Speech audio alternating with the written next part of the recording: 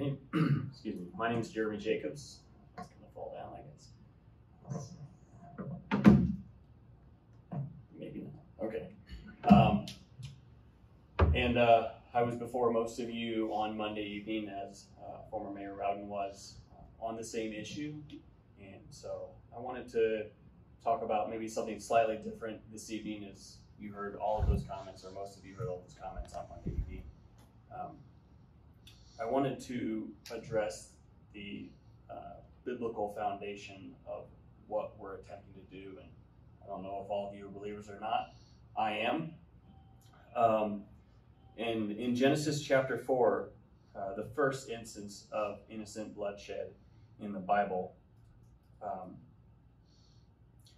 God is speaking to Cain. And in verse 10, he says, What have you done? The voice of your brother's blood cries out to me from the ground. So now you are cursed from the earth, which has opened his mouth to receive your brother's blood from your hand. And there's a, a principle that's in this first occurrence that innocent bloodshed defiles the land. Um, and so I would encourage the, the city of Wright City to keep the shedding of innocent blood out of its city because the, bloodshed of innocent people on the land of Wright City will defile the land in, in Wright City. Um, and so, uh, just to address a slightly uh, a related point there, um, for those that might say that, well, I'm personally pro-life, um, but I don't know that that I can really touch this issue.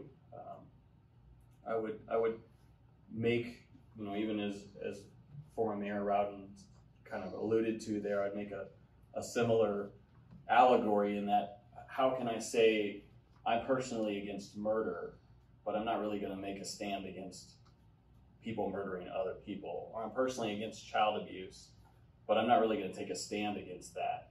And in the same instance, science is very clear that life begins at conception. We have our 46 unique chromosomes at conception. Uh, human DNA will always always has in the in recorded history turned into a human and not some other life form at conception. Everything is unique to the individual that is in the womb. This is a life at conception, and it deserves, though it is innocent and voiceless, it deserves to be defended just as anyone else who's outside of the womb. It's just a matter of placement and where you're at inside the womb or outside the womb. It's still a unique human being and deserves to be defended. So, if you would be willing to stand up uh, and say that murder is wrong and it goes beyond just my personal conviction, conviction that I'm just I'm personally against murder, then we should be willing to stand and say we're more than just personally pro-life. We are against the killing of the unborn. So yeah, I would I understand that there's a review process, but I would urge one of you to go ahead and sponsor that, or maybe several of you. I don't know how the process works if there can be co-sponsors, but many of you can sponsor them this uh, this ordinance and move it forward through the process. So, thank you for your time this evening. Thank you, sir.